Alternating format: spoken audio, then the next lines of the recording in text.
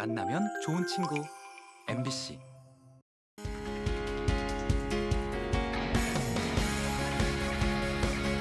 네, 여러분 안녕하세요. 매주 목요일 저녁에 함께하는 생방송 제주연입니다. 자, 오늘은요, 장인정 아나운서를 대신해서 정효진 아나운서가 또 오늘 함께 알찬 소식들을 전해드리도록 하겠습니다. 네, 그러고 보니까 오늘이 네. 10월의 마지막 날인데 마지막이에요. 네, 10월의 네. 마무리를 이 생방송 제주엔과 함께 할 수 있어서 네. 굉장히 기쁘고요. 기쁘죠? 네. 네, 그러고 보니까 올해가 11월, 12월에서 두 달밖에 안 남았어요. 그러게요. 네, 이제 벌써 네. 올한 해 마무리할 시기가 다가오고 있구나 네. 싶어요. 어, 그러고 보니까 수능 시험도 아, 이제 네. 2주가 채 안 남았다는 생각이 드는데 우리 수험생 여러분들 힘내시고 정말 음. 끝까지 최선을 다해가지고 어, 좋은 결과가 났으면 좋겠고요. 무엇보다 체력 관리, 이 정말 이 스트레스 관리를 좀 잘해서 좋은 결과가 어, 이어지기를 기대해 보도록 하겠습니다. 자, 생방송 제주엔 본격적으로 시작해 보기 전에 요 말씀도 좀 드리고 시작해야 될 것 같아요. 어, 유튜브 라이브 스튜디오 제주 MBC에서도 함께 하실 수 있다는 거 말씀드리면서 또 많은 시청 부탁드리겠습니다. 네, 그럼 생방송 제주엔 오늘 첫 소식 시작할 텐데요. 오늘 첫 소식 이기랜 좌영구 네. 리포터 함께합니다. 어서 오세요. 안녕하세요. 안녕하세요. 반갑습니다. 안녕하세요. 반갑습니다. 네. 이gen의 좌영국입니다. 아유, 날아다니네요. 네. 우리 예쁜 자연국 씨가 네네. 늘 예쁜 음식 또 맛있는 음식들도 많이 드셔서 전 항상 볼 때마다 부러웠거든요. 네. 아, 오늘도 정말 이 정유진 아나운서가 부러울 만한 어. 정말 맛있는 음식, 정말 아름다운 풍경 어. 이런 곳을 다녀왔거든요. 네. 어딘지 화면으로 만나보시죠.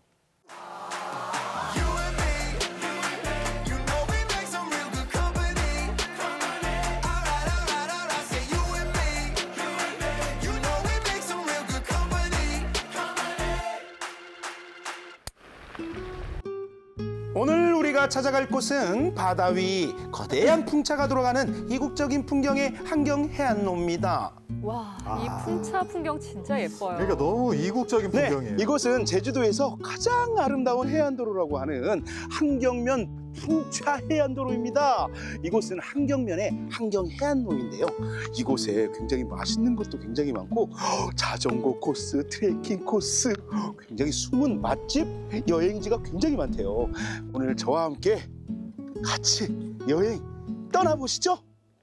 와, 풍차. 이 한경이 사진 맛집이기도 해요. 네. 제주시 한경면, 제주의 서쪽 끝을 따라 연결된 한경 해안로는 해상풍력단지가 조성돼 있어서 해안도로를 따라 발전기들이 줄지어 서 있는데요. 구불구불한 해안선을 따라 이어진 이곳이 바로 신창풍차 해안도로입니다. 아, 굉장히 이국적인 풍경이에요. 이 근처에 자전거를 빌려주는 곳이 있다고 해서 찾아가 봤는데요. 오, 오, 사장님. 어떻게 하셨어요? 게스트하우스를 운영하면서 손님들에게 무료로 자전거를 빌려주시는 사장님. 자전거 마니아가 된 데에는 이유가 있었는데요. 한 20년 전에 건강이 안 좋아서 타기 시작했는데 어, 몸이 많이 좋아졌죠. 자전거 매력은 운동도 있지만은 차 타고 다니는 것보다 자전거 타고 다니면 보이는 게 훨씬 많아요. 이야, 이게 뭔가 옷가게에 옷 고르러 온, 온 듯한 그런 느낌인데 어떤 걸 타야 될지 좀 추천 좀 해주세요. 어, 자전거 굉장히 많네요. 맞아요. 도로를 탈 거기 때문에 네. 일단 도로에 적합한 자전거가 음. 이런 게 있어요. 이곳에는 초보자부터 전문가용까지 다양한 자전거들이 있었는데요. 그 중에 하나를 골라주셨습니다. 바로 이 자전거입니다. 네. 보통 성인용 자전거는 음. 거기다 사이즈가 동일하기 때문에 네네네. 안장 높이만 조정 좀 해서 아, 어, 안장 높이 자기가 예. 이제 맞게끔 예. 안장 높이만 조절하고 그리고 안전 모 쓰고 예, 예. 자 이제 풍차 해안도로를 따라 시원한 바닷바람을 맞으며 달려볼까요? 바로 자전거 길로 진입하자마자 힘차게 페달을 밟았습니다. 야, 평소엔 자동차를 타고 빠르게 지나쳤던 길을 자전거로 달리니 색다른 기분이 들더란데요. 너무 신나서 얼굴도 쫙 폈습니다. 그러게요. 표정이 너무 좋은데 기분 좋아 보여요. 바다를 사이에 두고 달리는 기분은 정말 최고였답니다. 잠시 자전거에서 내려 아름다운 풍경도 감상하고 바다 위에 떠 있는 저 길을 다시 자전거를 타고 달려봤는데요. 어. 바닷물이 들어와 물 위를 달리는 것 같은 기분도 들고 자전거 덕분에 바다도 더 가까이 느낄 수 있었답니다. 이거 진짜 부럽네요. 너무 그러니까. 예쁘고. 제주도의 모든 아름다운 바람을 오늘 다 느낀 것 같아요. 이 자전거 타면서 너무 좋은데요. 제가 평소에는 이게 그 자동차로 드라이브 굉장히 많이 왔는데 자전거 riding 너무 좋네요. 화석 연료는 하나도 안 태우니까 화석 연료는 하나도 안 태운다. 진짜 좋죠. 아니 정말 이 제주도뿐은 아니지만 정말 제주도를 정말 사랑하시는 분 같아요. 많이 버리지 말고. 많이 버리지 말고 예. 어차피 뭐 쓰레기는 나오는 거는 나오지만 항상 저도 숙소를 하지만은 제일 미안한 게 어, 플라스틱. 플라스틱 예. 웬만하면 좀 줄이시고. 맞아요. 예. 제주도 여기 신창 풍차 해안도로 많이 많이 찾아주세요. 찾아주세요. 신창 풍차 해안도로의 또 다른 매력은 만조와 간조에 따라 달라지는 풍경인데요.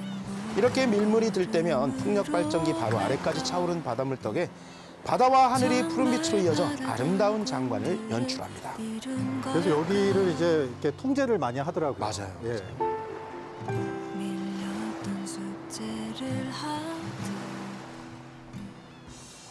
이번에는 한경 해안로의 푸른 밭담길을 따라 식당을 찾아갔습니다. 뽀글뽀글뽀글 다양한 해산물들이 맛있게 끓고 있는 이곳은 해물라면 맛집입니다.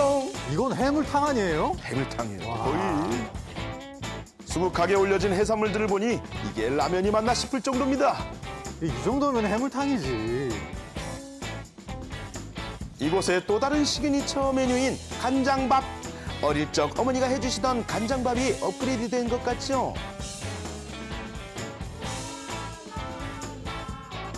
마지막으로 주인장이 직접 만든 수제 삼각김밥인데요. 오. 토치로 그을려 바삭한 식감을 더해줍니다. 아. 자, 이제 맛을 한번 볼까요? 오, 저렇게 하면 약간 불맛 나겠네요? 직접 끓인 육수. 네, 그럼요. 음, 내가 나중에 보면 알 수 있어요. 매운 라면인지, 진한 라면인지, 안성 맞춤인지. 어, 직접 만들었다, 스프를. 국물이 보시면, 여러분, 맑아. 이 비주얼은 이렇게 해물탕이지만, 밑에 보면 라면이 두둔 라면이 있다. 해물라면. 보통 라면 스프를 많이 쓰시는데 여기 저희는 양념장을 음. 어, 직접, 직접 만들고. 만들었어요. 그래서 감칠맛을 더 냈기 때문에 아마 육수는? 더- 육수도 육수도 만들어요? 그럼요. 어, 지금 라면이 불고 있어. 네. 이거 용납할 수가 없어. 저는 약간 푼 것도 좋아하지만, 그러면 제가 본격적으로 먹어보도록 할게요. 자, 맛있게 안녕. 드세요. 감사합니다. 아 손질이 너무 잘 됐어. 너무 깨끗해. 어? 그리고 어이 문어 문어 튼실하고 새우는 이런 새우는 딱 새우가 아닌 이상은 그냥 먹는 거야. 머리만 빼고. 어, 푸짐한데요, 아주? 어머, 쏙 나왔어요. 야. 부드러워. 냄새 하나도 안 나. 음. 꽃게도 요즘 꽃게들. 아 해물 쭉쭉 쏟아진다. 이.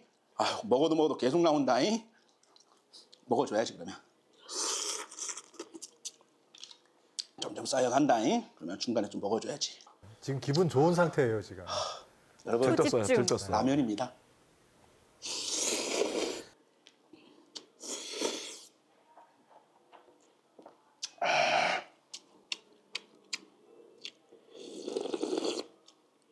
아, 매콤해서 해장이라기보다는 정말 제가 처음에 말씀드린 대로 그 해물탕의 그 시원한 맛 있잖아요.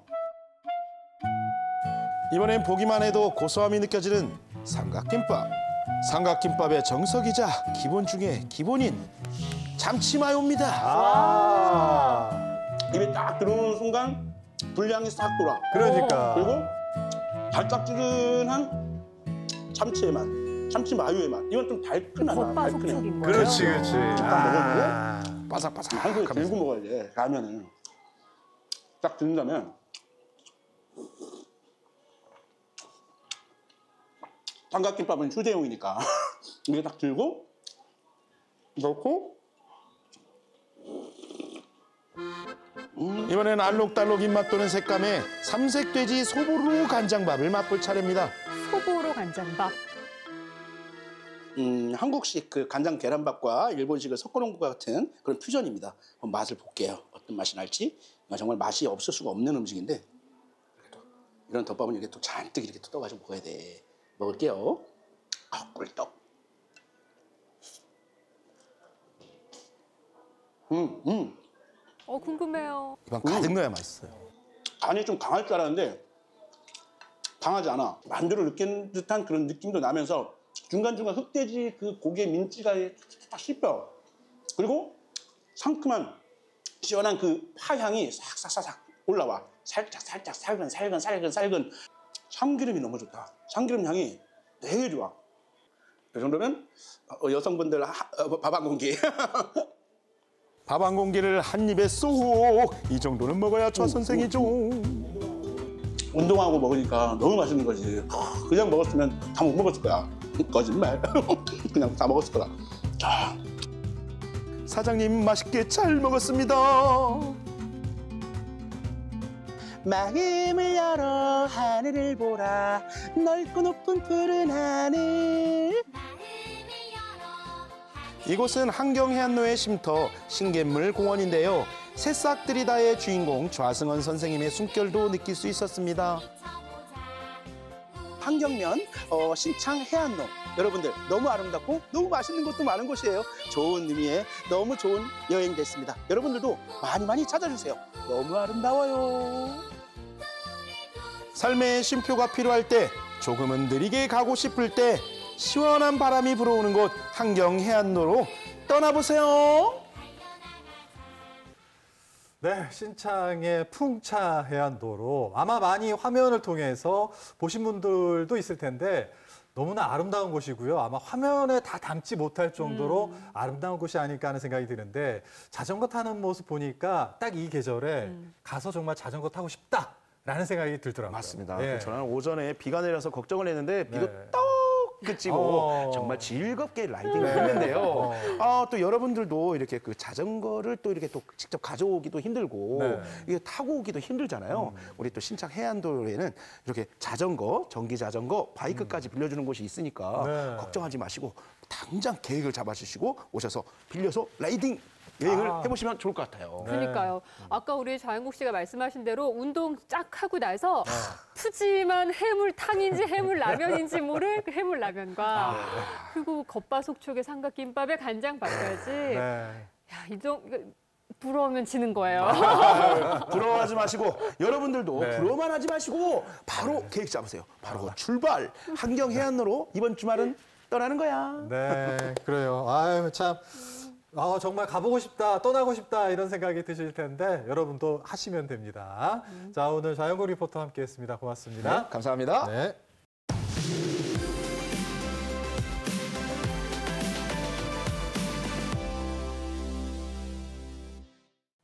네, 이번엔 제주의 다양한 현장들 발빠르게 다녀와 보는 시간입니다. 현장 N인데요.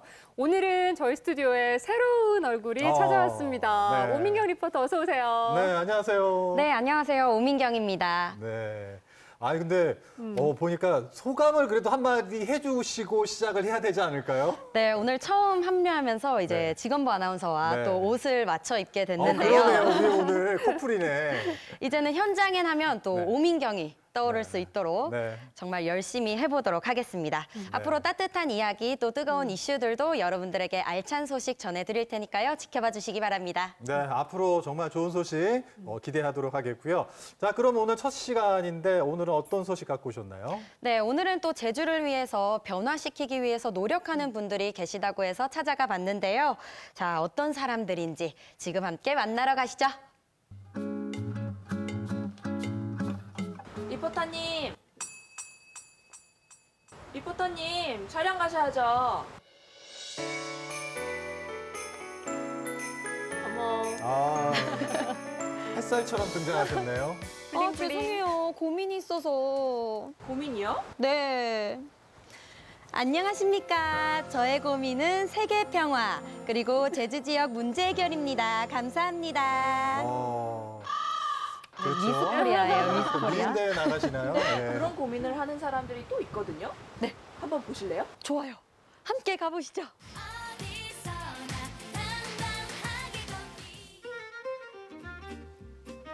제주 지역 문제에 대해 고민하는 사람들을 만나러 가자더니 PD님 따라온 이곳은 표선에 위치한 서핑 스쿨이었습니다.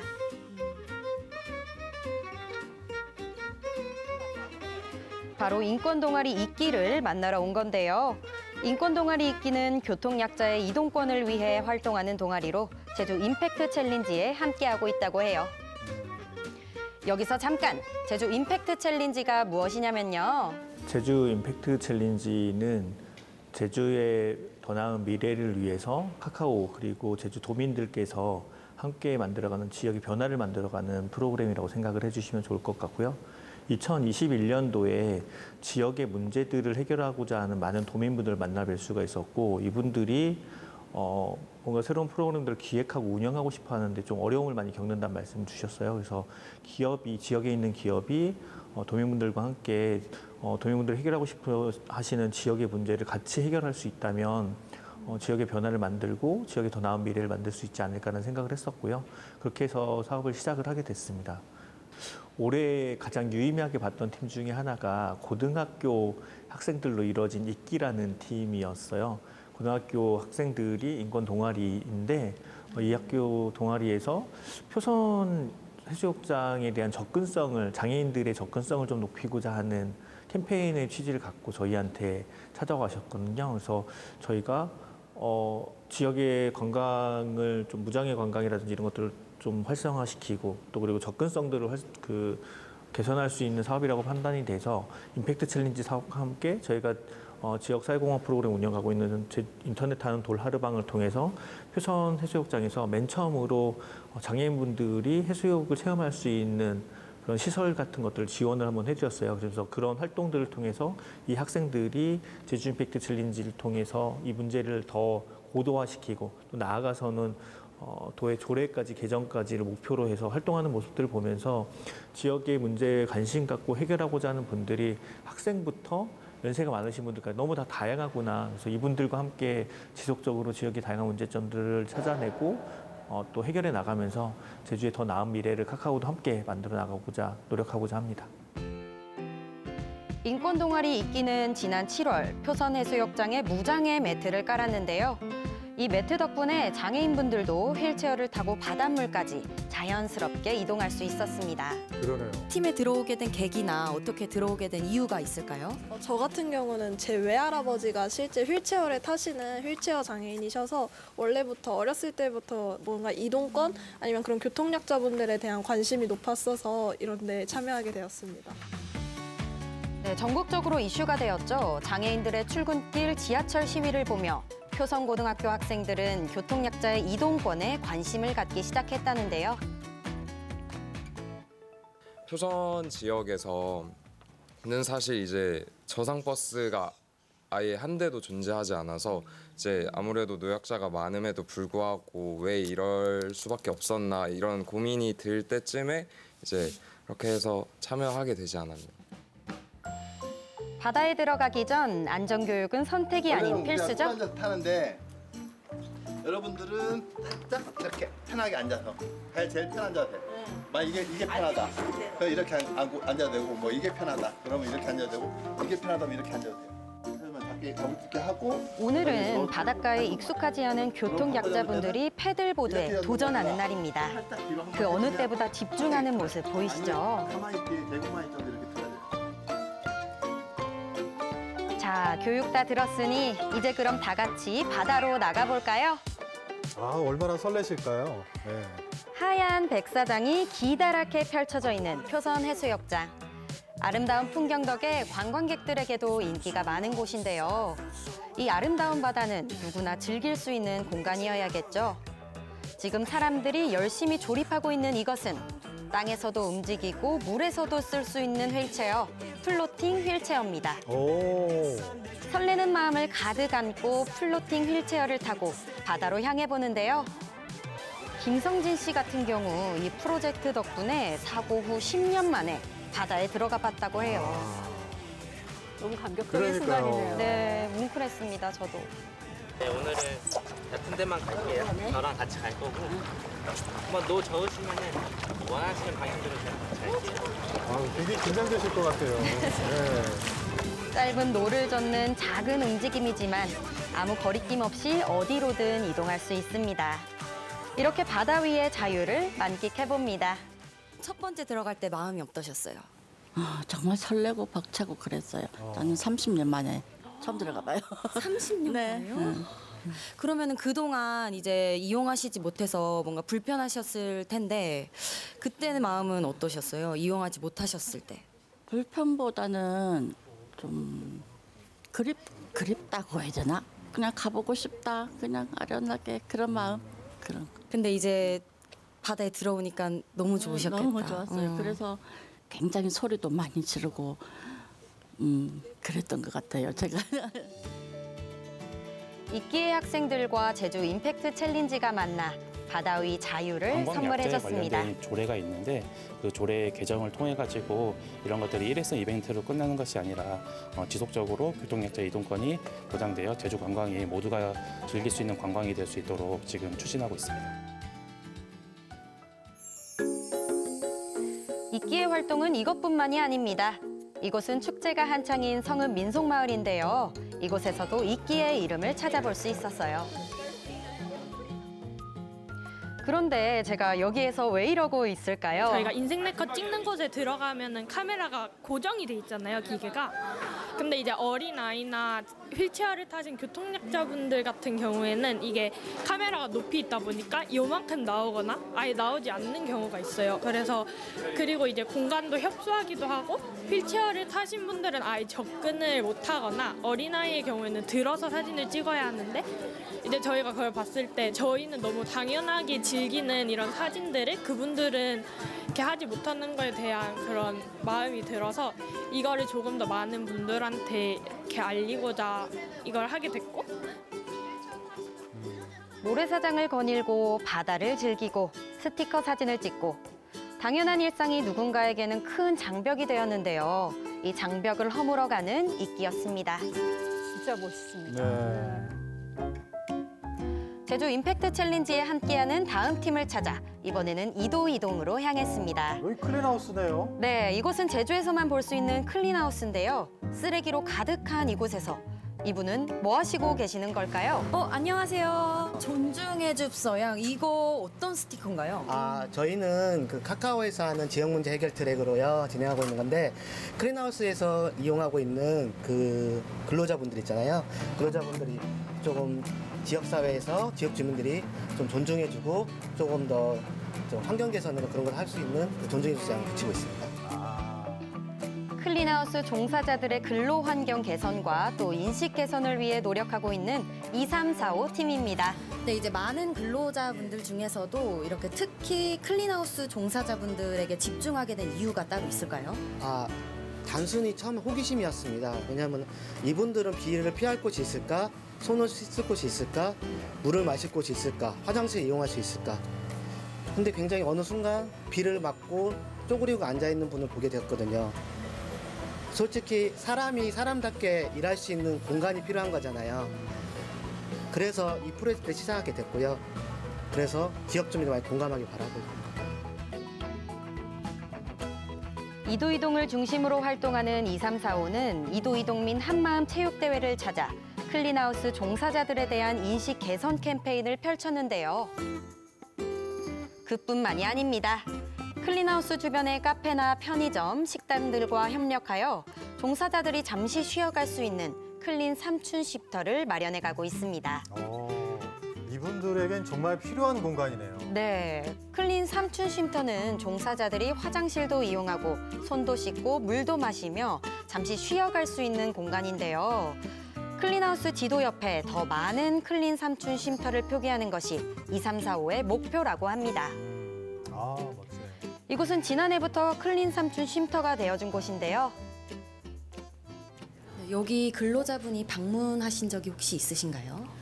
어, 그러니까 저희가 바로 앞에 클린하우스랑 놀이터가 있는데 뭐 놀이터 청소하시는 그 분들께서 이제 빗자루나 이런 것들을 매일매일 갖고 다니시고 이런 게 좀 번거로우시니까 저희 가게 구석에다 맡겨두시고 다니시거나 예, 그런 일들이 더러 있었죠. 예. 네, 그럴 때 이제 예전에는 근로자분들에 대해서 여기 옆에 클린하우스 근로자분들에 대해서 어떻게 생각하고 계셨는지 그런 부분도 좀 궁금해요.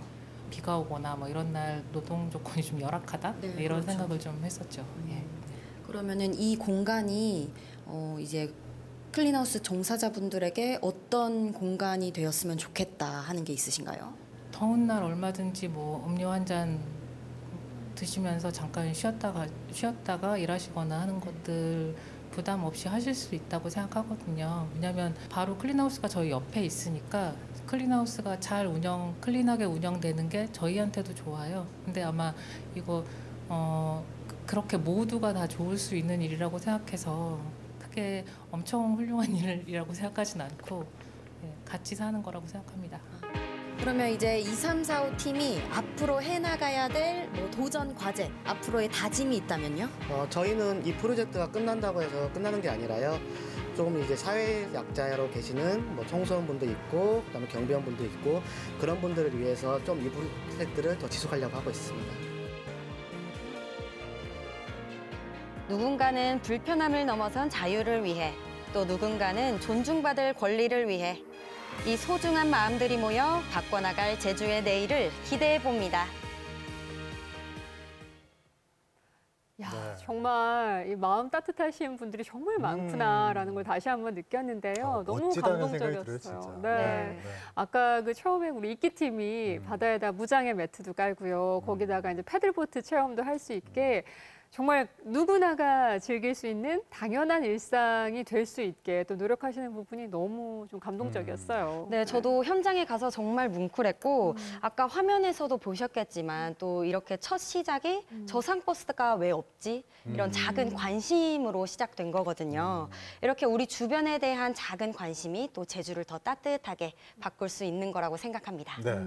그리고 아까 이어서 나왔던 그 2, 3, 4, 5팀 있잖아요. 그 클린하우스 종사자들 에 대한 어떤 생각이 네. 어떤 변화를 만들어내고 있다는 점이 이런 분들의 이런 실천을 보니까 굉장히 감동적이고 우리가 사회가 많이 바뀌어야 될 부분들이 많구나라는 생각이 들더라고요. 네, 맞습니다. 네. 또 팀이 있는 건가요? 네, 오. 아주 많이 있습니다. 네. 앞으로 2주 동안 여러분들에게 제주를 변화시키는 또 다양한 팀들을 소개시켜 드리도록 하겠습니다. 자, 어떤 목소리에 또 귀를 기울이고 어떤 방식으로 제주 문제 해결을 해나가는지 여러분들도 함께 지켜봐 주시기 바랍니다. 네, 앞으로도 계속해서 또 따뜻한 소식들이 음, 그래요. 기다리고 있다고 네, 하니까 기대가 저희도 되죠. 네, 너무 기대됩니다. 네, 오늘 오민경 리포터 수고하셨어요. 네, 수고하셨습니다.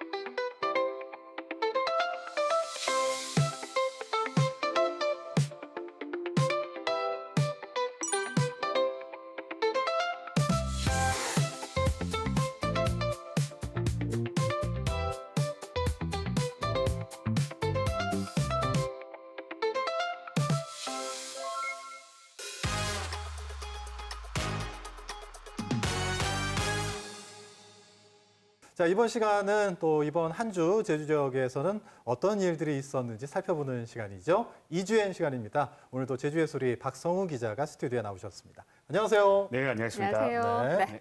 자, 이번 한 주간 우리 제주에선 어떤 일들이 있었을까요? 첫 번째 소식부터 만나볼까요? 네, 어, 제주를 이끌어가는 두 축이라고 할 수도 있겠죠. 어, 제주특별자치도와 제주도교육청이 지역 교육 발전을 위해서 머리를 맞댔습니다. 어, 교육과 관련된 현안을 논의하기 위한 교육행정협의회가 열린 것인데요. 어, 평소에는 일반 행정과 교육 행정이 어, 구분되어 있다 보니까 협업이 이루어지기는 어, 좀 어려운 경우가 덜어 있기 마련이었죠. 오늘날 같은 인구 절벽 위기 앞에선 어, 두 기관의 협업이 더욱 절실해졌기 때문에 의미 있는 자리였다고 할 수 있겠습니다. 네, 그렇군요. 그럼 이번 협의회에서 구체적으로 좀 어떤 안건들이 논의가 됐나요? 네, 요 모처럼 이제 두 기관의 수장이 한 자리에 앉은 이번 교육행정협의회에서는요, 총 12가지 안건이 다뤄졌고요. 어, 나름의 유의미한 성과를 거뒀습니다. 어, 먼저 협약형 특성화고에 대한 지원을 확대해서 항공우주산업 전문 인력을 양성하기로 했고요. 어, 또 지역 출신 특수교사 양성을 또 확대하기로 했습니다. 또 어린이집과 유치원의 급식비 격차를 줄이고 어, 또 이와 별개로 학교 무상급식비와 친환경 급식비를 각각 7% 인상하기로 한 점도 의미가 있겠습니다. 음, 지역의 교육과도 생활 환경을 좀 개선하려는 노력이 좀 돋보였던 것 같은데요. 이거 외에도 좀 눈여겨볼 만한 게 어떤 게 있었을까요? 네, 좀 어찌 보면 좀 기대와 우려가 교차하는 사안일 텐데요. 어, 폐교와 같이 활용 방안을 찾지 못하던 교육 부지에 어, 공공주택을 공급하는 방안이 현실화될지도 주목이 됩니다. 아, 민선 8기 제주도정이 아, 그동안 임기 안에 공공주택 7천 호를 공급하겠다는 청사진을 제시해 왔는데요. 아, 양질의 공공부지를 확보하는 데는 어려움을 겪어왔습니다. 아, 제주도가 기존에 소유하고 있는 토지에서 아, 주택을 공급하기에는 아무래도 한계가 있었고요. 아, 다른 부지를 물색하려다 보니 어, 접근성이 좋은 곳은 토지가가 워낙 높게 형성이 돼 있고 어, 반면에 이제 지가가 낮은 곳을 찾으려다 보면은 어, 접근성이 떨어지는 그런 딜레마가 있었죠. 아, 그런데 폐교라 하면은 어, 기본적으로 어, 접근성은 확보되어 있는 곳인데다가 아, 또 운동장 넓이 이상의 부지를 담보하고 있다 보니 아, 최적의 주택 부지가 될 수 있다는 게 아, 제주도의 판단이었습니다. 현재 제주도 내 폐교는 27곳으로 이제 모두 읍면 지역에 몰려 있는데요. 어, 당장 15분 도시 시범지구인 어, 표선면 지역에도 폐교 3곳이 위치해 있어서 어, 활용 계획을 찾아 나간다는 방침입니다. 네. 어, 이 얘기를 들어서는 꽤나 괜찮은 안건이 음. 아닌가라는 생각이 들긴 하는데 혹시나 이게 현실화되는데 어떤 뭐 걸림돌이 되는 어떤 문제가 될 수 있는 상황들이 있을까요? 예, 제주는 우선 이제 다른 지역에 비해서 폐교 발생률이 상당히 낮습니다. 2000년대 이후로 어, 폐교가 발, 발생되지 않았다는 점도 예, 충분히 자랑할 만한 거리겠고요. 어, 그렇다고 앞으로를 생각한다면 또 그렇게 낙관적이지만은 않습니다. 어, 시내권에서도 예, 특히 원도심의 학생 수 이탈 속도가 급격하다는 점은 분명 고려되어야 할 사안입니다. 아, 사실 폐교에 공공주택을 공급하는 방안은 이 전국적으로도 어, 선례가 없는 사안입니다. 어, 교육부지는 법적으로 그 활용도가 제한돼 있거든요. 어, 또 학교라는 특수성이 있지 않겠습니까? 어, 누군가에게는 이 학교가 이제 추억이 서려 있는 곳이기도 할 텐데요. 어, 도민 정서를 고려했을 때도 이 과연 학교 부지에 주택이 들어서는 게 적정한가 하는 이견이 있을 수 있다 보니 아, 좀 문제가 있을 수 있겠고요. 어, 다만 아직은 논의가 시작되는 단계입니다. 아, 앞으로 어떤 방향으로 진행될지는 어, 좀 관심 있게 지켜봐야 할 사안이 아닐까 싶네요. 기대가 되는 부분도 있긴 하지만 또 신중하게 접근해야 되는 부분도 있으니까요. 네. 앞으로 어쨌든 실제로 좀 우리 제주 교육과 우리 생활에 좀 긍정적인 영향이 있었으면 하는 바람이 듭니다. 네. 계속해서 다음 소식 들어볼까요? 네, 아, 제주 제2공항 입지가 발표된 게 2015년 11월이었으니까 횟수로 벌써 어, 10년이 다 되어가고 네. 있죠. 네. 이제 지역 최대의 이슈임에도 뭐 여러 가지 요인으로 인해서 갈등이 꾸준했는데요. 이 제2공항 입지가 발표된 시기를 전후로 어, 기획부동산의 투기 정황이 어, 발견됐다는 의혹이 제기됐습니다. 아, 시민단체인 제주참여환경연대가 어, 제2공항 예정부지에 속한 2,840필지에 대한 토지 대장을 일일이 확인을 하고 어, 제2공항 토지 소유 실태 분석 보고서를 발표했는데요. 어, 제2공항 부지의 토지 소유자 중에서 음, 제주도에 거주하고 있는 토지주는 전체의 40%에도 미치지 못한 반면에 어, 도외에서 거주하고 있는 어, 토지주는 60%를 넘어가는 것으로 파악됐습니다. 어, 그렇군요. 이게 제2공항 그 입지 발표 전후로 해서 그러면 어떤 특정 시기에 어, 집중적으로 거래된 토지가 있다는 얘기인가요? 네, 이게 단순히 이제 누가 소유하고 있느냐의 문제를 떠나서 예, 토지 소유 이전이 2015년도에 집중적으로 이루어졌다는 점은 의미심장한 대목입니다. 어, 사례들이 있습니다. 뭐 서울 강남 소재의 한 법인은 이 제2공항 부지 내에 91필지를 쪼개거나 지분을 매각 중간 매매해서 경남권 또 수도권 일대의 거주자에게 판매한 것으로 파악이 됐고요. 또 울산에 소재하고 있는 한 부동산도 2015년 3월부터 8월 사이에 이 제2공항 사업 부지 내에 토지 23필지를 중간 매매해서 경남권 일대의 거주자에게 판매한 것으로 확인이 됐습니다. 이런 방식으로 이제 제2공항 필지를 사들여서 이제 한두 달 내에 되파는 거래가 성행했는데요. 매입한 이들의 주소지가 대부분 어, 도의 거주자로 알려져 있습니다. 의혹을 사고 있는 법인들이 현재는 해산 등기됐다는 점도 석연치 않은 지점이겠죠. 음, 거기다가 이제 거래 시기가 이 제2공항 발표 직전이었다. 그러면은 입지 정보가 좀 사전에 유출된 거 아니냐 이런 그러게요. 의혹이 있을 수밖에 없겠는데요. 네, 이제 특히 부동산 거래 시기가 음. 말씀해 주신 것처럼 2015년에 몰려 있다는 점에서 의혹을 사기에 충분합니다. 사실 저도 당시의 기억이 생생한데요. 어, 제주에서는 이 성산읍 입지를 발표하기 직전까지도 이 입지 정보에 대해서 전혀 예상하지 못하고 있었거든요. 어, 부동산 폭등을 막기 위해서 끝까지 비밀에 붙였다는 게 어, 당시 국토교통부의 설명이었습니다. 어, 그런데 정작 이 도민들은 알지 못하는 정보가 사전에 새어나간 것 아니냐는 의심을 살 수밖에 없는 상황이죠. 더 큰 문제는 이게 10년이 다 되어가도록 실체는 없이 여전- 여전히 의혹에 그치고 있다는 점이겠네요. 음. 여기 아무래도 의혹이 계속되고 이게 해소가 되지 않는다면은 도민들의 어떤 불신도 커질 수 있는 거잖아요. 네, 그렇습니다. 네. 아, 당시 제주도는 요 성산읍 입지 발표 직후에 아, 부동산 투기 대책 본부를 운영했고요. 아, 또 양행정시에서도 부동산 투기 방지 업무 지침을 제정하기도 했었는데요. 어, 돌이켜 보면은 어떤 성과가 있었는지 좀 의문이 들고요. 제주 경찰청 차원에서도 어, 기획 부동산 의심 제보를 받고 수사 수사에 들어간 것으로 전해졌는데 어, 정작 수사 결과는 알려지지 않았습니다. 어, 여러모로 아쉬움이 남을 수밖에 없는 상황이겠는데요. 아, 이 사안을 보면은 첫 단추를 어떻게 꿰어야 하는지가 굉장히 어, 중요하다는 생각을 좀 다시금 깨닫게 됩니다. 좀 뒤늦게나마 이 가능한 범위 내에서 어, 이 문제를 찾아나는 과정이 있다면은 어, 더욱 좋겠고요. 음, 아직까지 좀 남아있는 의혹들이 있으니까요. 이 부분들에 대해서 좀 철저한 규명도 이루어졌으면 좋겠습니다. 네. 네, 계속해서 다음 소식 하나 더 드릴까요? 네, 어, 제주에서 전국 최초로 실증을 마치고 어, 또 전국 최초로 상용화된 그린 수소가 아, 드디어 가격표를 달고 시장 경쟁에 뛰어들었습니다. 아, 그동안 진행되던 시범 사업을 마치고 이제 그린 수소의 상업 판매를 시작하게 됐는데요. 일단 그린 수소의 판매 가격은 킬로그램당 15,000원으로 매겨졌습니다. 아, 적지 않은 가격인데요. 아, 그린 수소의 개념을 이해하시면 조금 더 도움이 되지 않을까 싶네요. 어, 그린 수소는 생산 과정에서 탄소 배출이 발생하지 않은 수소를 뜻합니다. 아, 물에 전기를 가해서 수소와 산소를 분리하는 방식입니다. 여기에 사용하는 전기 또한 풍력 발전이나 아, 태양광을 사용하도록 해서 탄소 탄소가 발생할 여지가 없도록 했죠. 네. 보통 이제 수소하면 육지에서도 수소를 판매한다고 들었는데 그것과는 좀 다른 거죠? 네, 이 수소가 어, 이제 생산 방식에 따라서 뭐 블루 수소, 핑크 수소, 브라운 수소 굉장히 여러 가지 종류들이 있는데요. 어, 요 전국적으로 판매되는 수소는 대부분 정유 과정에서 만들어지고 있습니다. 어, 이 과정에서 탄소가 발생하다 보니 일명 그레이 수소라고 불립니다. 아, 순수 그린 수소를 생산하고 판매하는 것은 역시 제주가 최초 사례고요. 어, 전 지구적인 기후 위기 시대에서 이 그린 수소 생산은 어, 좀 분명 지양해야 할 사업이겠죠. 음, 환경 측면에서만 보면 좀 그렇긴 한데 근데 가격적으로는 어떨까? 이거 좀 비싼 건 아닌가 싶어요. 네, 이 그린 수소 판매 가격이 이제 킬로그램당 15,000원으로 매겨졌다고 설명을 드렸잖아요. 네. 어, 그런데 정작 생산 단가는 또 2만 원을 훌쩍 넘어서고 있습니다. 아, 이게 나머지 5천 원 가량은 결국 이제 공공 재원으로 보전해 줘야 되는 구조인데요. 이 킬로그램당 15,000원으로 가격을 매긴 이유도 연비를 따졌을 때 적어도 경유 차량과는 견줘야 하지 않겠냐라는 의견 때문이었는데요. 이 15,000원까지는 낮춰놔야지 이 경유 차량과 겨우 경쟁을 할 수 있는 수준입니다. 또 이미 운행되고 있는 전기차와 비교를 하면은 뭐 두세 배 가까이 연비가 차이 나다 보니 이게 경쟁이 되지 않는 구조고요.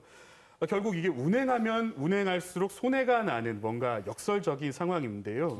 저 앞서 설명드렸던 육지부의 이 그레이 수소는 생산 과정에서 탄소가 발생하기는 하지만 어, 그린 수소에 비해서 경제성은 좀 확실히 우월합니다.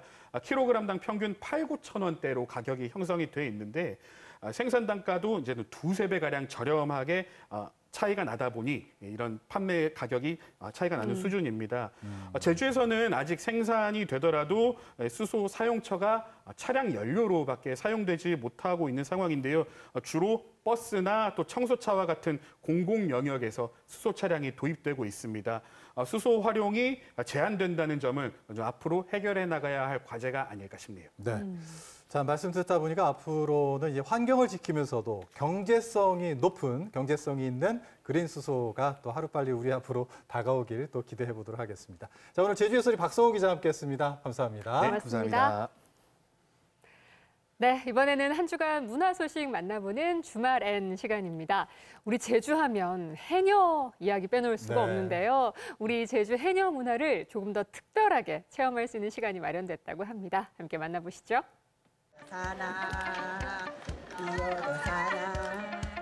제주 바다의 해녀와 만나는 특별한 시간. 해녀에 대해서 한 번 더 생각할 수 있는 시간이 된 것 같아서 너무 좋습니다. 진짜 오래도록 기억에 남을 것 같습니다. 부드러운 제주를 느낄 수 있었던 것 같아서 좋았습니다. 아름다운 제주 자연 속 해녀 문화에 스며들기 지금 시작합니다. 오늘 해녀 문화를 만나러 가는 곳은 구좌읍 세활입니다.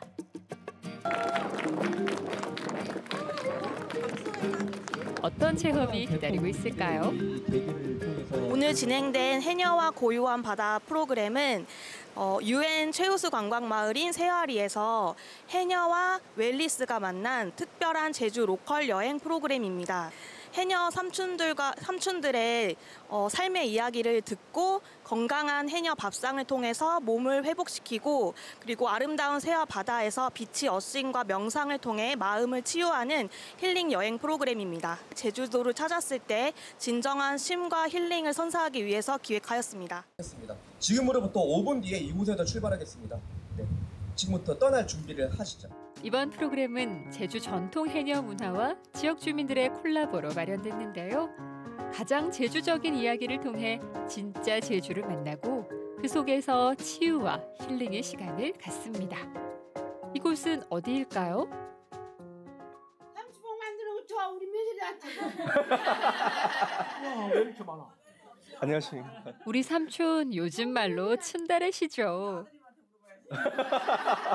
아드님하고 어머니한테 물어봐야지. 만들 거 있어? 바로 해녀복 만드는 것을 보여주는데요. 오랜 숙련으로 바위질이 아주 일사천리입니다.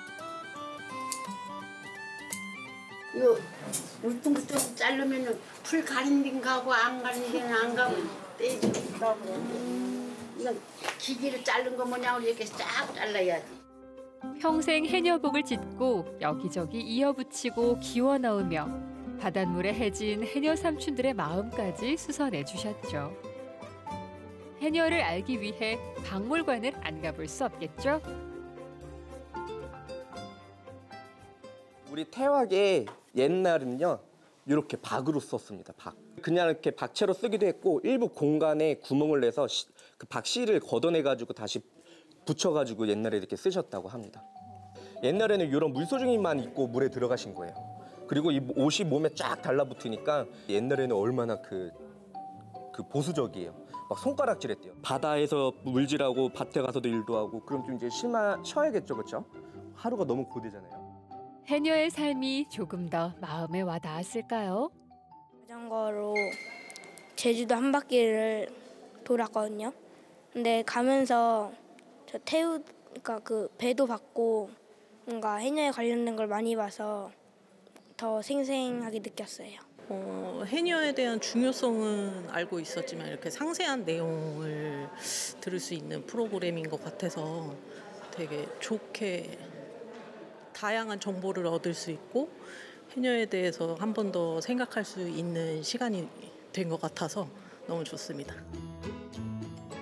열심히 보고 듣고 하느라 시장해진 속을 달래줄 특별한 음식이 기다리고 있습니다. 해녀 삼촌들이 먹던 바로 그 밥상입니다. 어, 문어, 소라 그렇게 우리가 다 잡아왔습니다. 직접 가가지고 옛날엔 소라가 없으니까 이제 시대에 조금 소라가 나와지니까 시대가 변하니까 돼지고기만 적을 해다네. 하고 또 이제 시대가 조금 났으니까 문어적도 하고 소라적도 하고 모든 것이 다 그렇게 합니다. 육지에서는 콩을 삶아서 그걸 갈아서 콩국을 먹잖아요. 제주식은 조금 다릅니다. 생 거, 생가루. 이제부터 그거를 삼촌들이 직접 준비하실 건데. 해녀 삼촌들이 만드는 콩국 궁금하시죠? 날 콩가루를 바로 개어 준비하고 무채도 싹싹싹 배추도 넣어서 콩가루를 슬슬 풀어주면 맛있는 콩국 완성. 콩국 먹고 건강하세요. 네, 건강하십시오.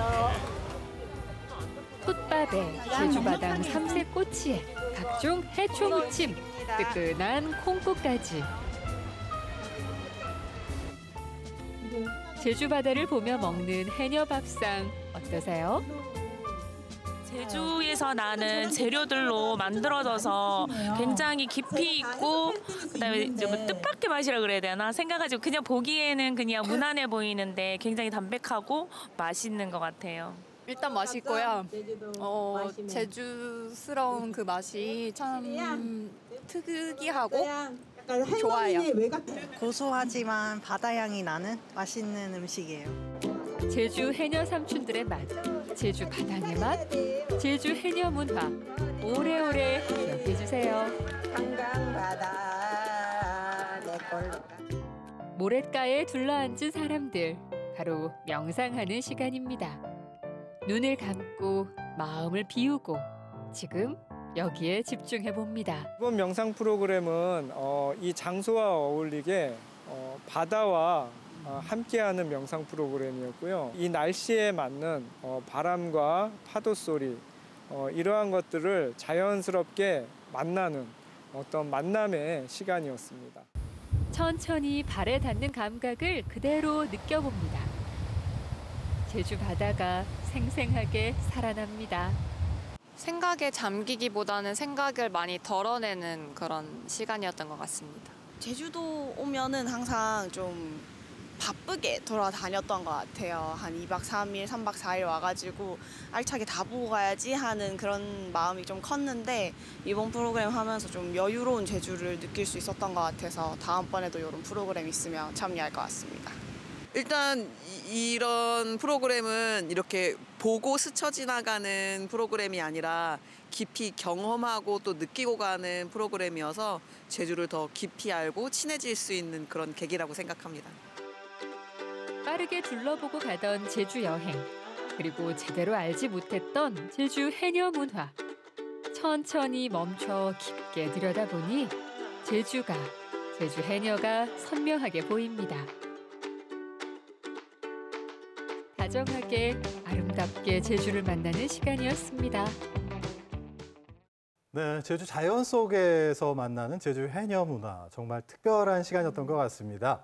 아, 요즘에요. 그 우리 그런 말이 있었잖아요. 소소하지만 확실한 행복. 소확행. 어, 잘하시네요. 네, 네, 네. 근데 요즘엔 그거 말고요. 음. 아부하라는 말이 새롭게 네. 또 트렌드가 됐대요. 네, 저도 그 얘기를 들었는데 이게 아주 보통의 하루라는 음. 말의 뜻이라고 하는데 어떻게 보면 아까 뭐 소확행 얘기도 했습니다만 우리가 행복이라는 것에 어, 너무 어떤 믿음을 가지고 어, 있는데 그 믿음에서 한 발 이렇게 물러나서 너무 행복하지도 않고 너무 불행하지도 않은 어떻게 보면 그저 무탈하고 또 어떻게 보면 이렇게 소소하고 작은 일상의 삶에 어떤 가치를 두고 살자 어, 이런 의미가 아닐까 하는 생각이 듭니다. 맞아요. 오늘 정말 아무 일 없이 잘 보냈다. 그래요. 그렇다면 어깨 한번 두드려주고 네. 토닥여주고 아부하.